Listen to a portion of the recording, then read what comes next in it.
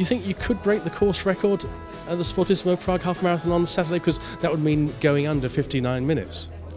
Uh, I think uh, I I have a good team on Saturday, and uh, I'm hoping that uh, with the cooperation, with our cooperation, we are going to do something to make sure that we we, we, we, we break the, the course record.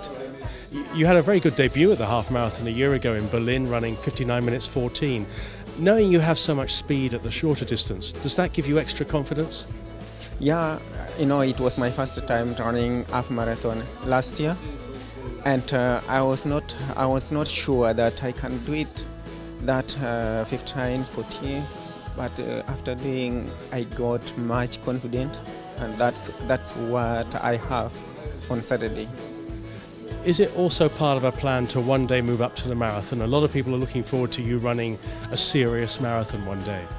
Yeah, you know that my, my schedule I planned that I, I want to climb slowly by slowly and I start by by doing 10k 15k and the difficult part is half marathon which um, I'm still looking forward to to see that I do something before I move to marathon.